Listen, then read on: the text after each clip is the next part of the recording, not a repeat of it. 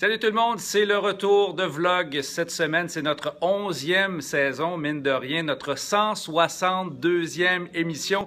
Et pour ce retour de Vlog, on reçoit Marie-Pierre Morin qui va venir évidemment nous parler de son émission, sa nouvelle émission à TVA, faite comme chez vous, mais également de son amour pour son chien. Saviez-vous que Marie-Pierre Morin FaceTime avec son chien qui est actuellement en Ontario?